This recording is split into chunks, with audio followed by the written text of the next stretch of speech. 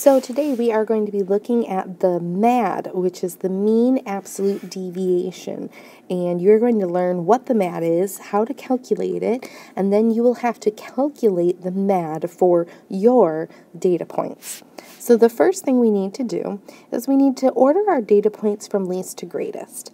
And my question is how many soft drinks do seven randomly sampled LDI students have each day? Um, and I have my data points listed. So now listing them in order from least to greatest. I have three ones, so I will write one, one, one, a two, two fours, and an eight. The second thing we want to do is create a dot plot. And this dot plot, you just need to put an X on top of the number on the number line corresponding to each data point.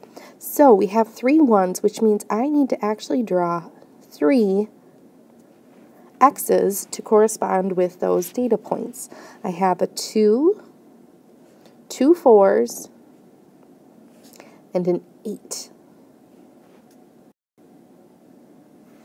So now that I have my dot plot, the next thing I need to do is draw a triangle or the balancing point under the mean. But that means I have to calculate the mean. So here are my data points. And in calculating the mean, we add all of those points together.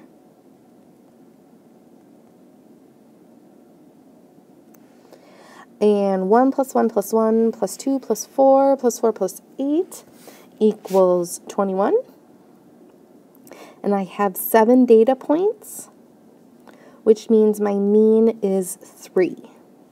So if the mean is 3, I'm going to draw a triangle or a balancing point under that. And this is going to help me understand the concept of a deviation. A deviation is the number of units um, or you can think of them as steps or spaces away from the mean.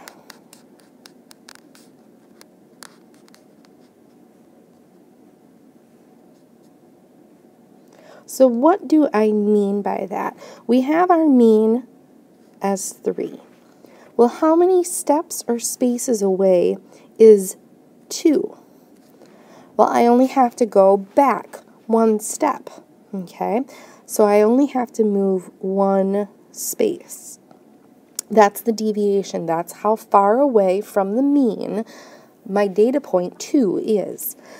I have 1 as a data point as well, and 1 is 2 steps away.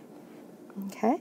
But I don't just have one has only one point, I have three data points of one. So I have two steps, two steps, and two steps.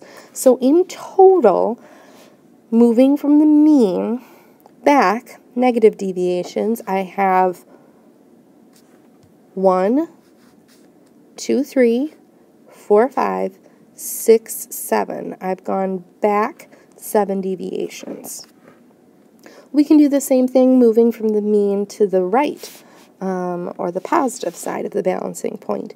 So again, I have one step, and I have another one step, two deviations already, and then I'm going from the mean all the way out to data point 8, and that would be one, two, three, four, five steps away.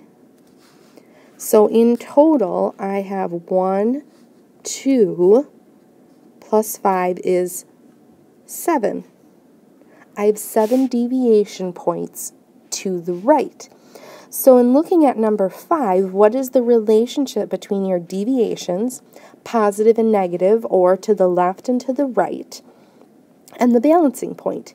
The relationship is that they are equal the number of deviations, the total number of deviations are equal. I have a total of 7, 7 deviations on both sides.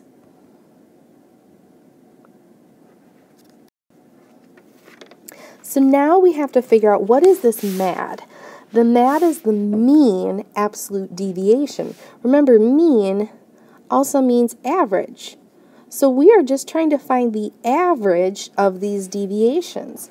And where the absolute comes in is the idea of absolute value. Okay? And absolute value is figuring out how many steps away it is from zero or taking a negative number and making it positive in its simplest form. So I already did the first one, the data point of 1. 1 minus 3 is a negative 2. And then you can see I take that negative 2 and I take the absolute value, which is a positive 2.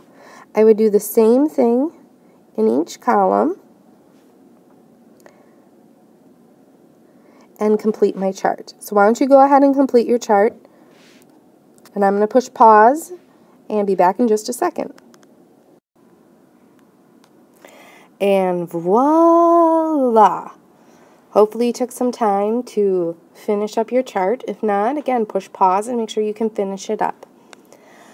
But I have finished up my chart here, and now what I'm going to do is I am going to find the total number of deviations that are listed in my chart here.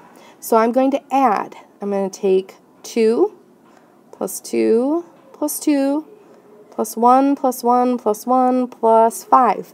And I find out that my total number of deviations is 14. This is the sum of those absolute value of your deviations. So now I need to take the total or the sum of those absolute value deviations. And that total or sum that we just found was 14. And I'm dividing that by the total number of data points. And the total number of data points that I had were 7, which leaves me with 2. My MAD, my mean absolute deviations, is 2. Now, what does that mean? What that mean, what the MAD really tells us, what the MAD tells us is that on average, think about we're using the word mean.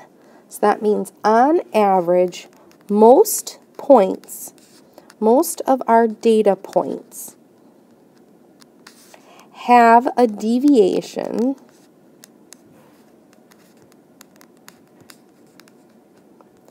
Remember, that's how many spaces away from the mean. Have a deviation of 2, in this case units, maybe yours is in inches, maybe years, maybe minutes. Think about what you're um, measuring in. Have a deviation of 2 units from the mean. So the mean absolute deviation, 2, tells us that most of our units in this data set have a deviation on average of 2 units.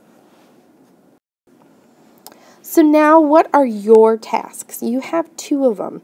You need to find the MAD for both of your samples. That means you are going through completing what you just did twice.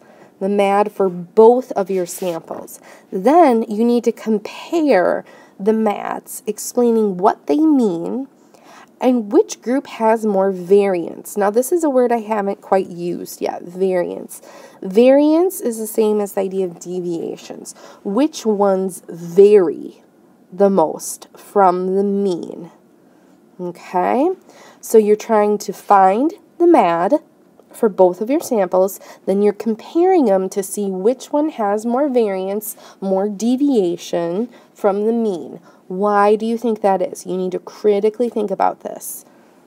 Okay? Make sure you write this up nicely before that you before you type. This is all part of your write up for your project. Good luck.